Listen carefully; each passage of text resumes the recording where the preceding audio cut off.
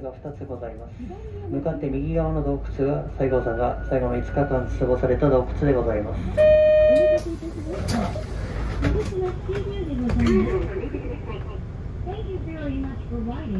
Kagoshima City View today. お待たせいたしました。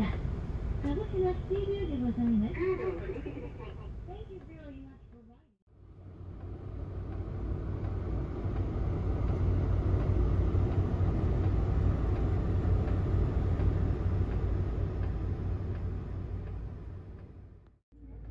現在は私有地となっており屋敷は残っておりませんがバス停前左側の石垣のみ当時のまま残されております。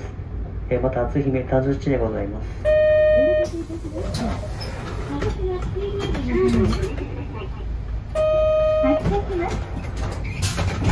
はい発車します。